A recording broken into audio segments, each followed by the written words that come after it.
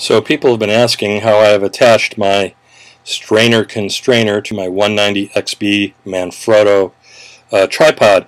Uh, the insert of the center column at the bottom uh, for mine looks like this. It's got a 3 8 uh, stud on the bottom.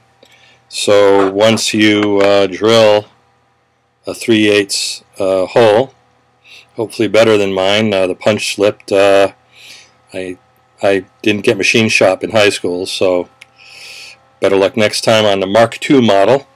So you can just slip the uh, the strainer over the stud.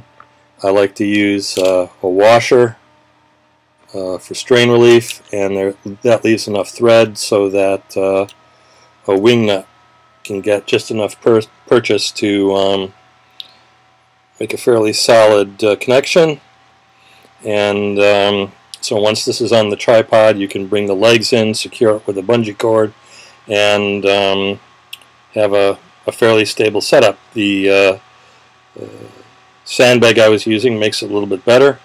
I happen to have uh, a small one so uh, already in my gadget bag so that's what I used. So I'm deploying it tomorrow on a job. We'll see how it goes.